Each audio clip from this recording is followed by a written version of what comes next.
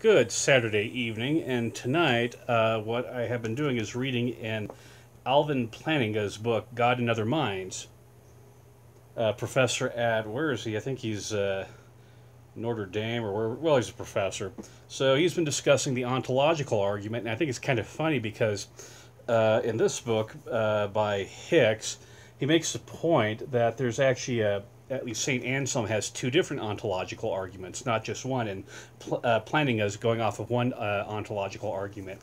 Plus, I think it's interesting, both of them are missing that Thomas Aquinas, although he was a critic of the ontological argument uh, in the Summa Theologica, actually has three different uh, ontological arguments. And uh, haven't got haven't finished what uh, Plantinga has been said about the ontological arguments, but I think it's really important that you you have the uh, Anselm's two versions. You have Rene Descartes' version of it, and you have uh, Thomas Aquinas' three versions of it.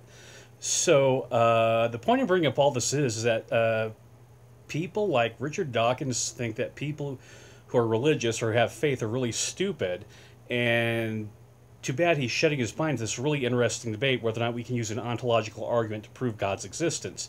That's really important because evolution can account for both the cosmological and teleological arguments, but not for the ontological arguments. So I think it's something we need to pay attention to.